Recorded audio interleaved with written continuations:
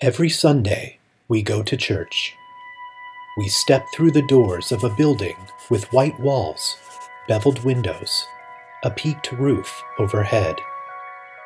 We gather in a church building, but the building is not the church. We are the church. When Jesus was crucified, he became the sacrifice to end all sacrifices.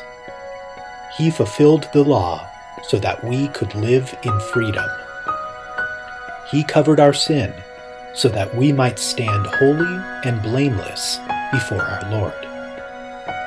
When Jesus said, It is finished, and breathed his last breath, the earth shook and the temple curtain was torn in half. The Spirit of God no longer resided in a building. Now, the Spirit of God resides in us. Peel away the walls, and you will see the true church. A church that gathers and prays, with music and with exhortation, coming together to worship the one who set us free. A church that serves our community, meeting the needs of our neighbors with encouragement, with service, and with love.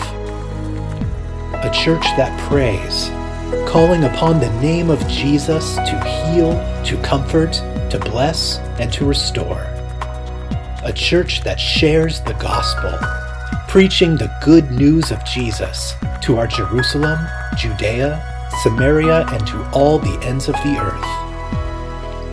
As we face a season marred by struggle and pain, it is the hope of Jesus that lifts us up.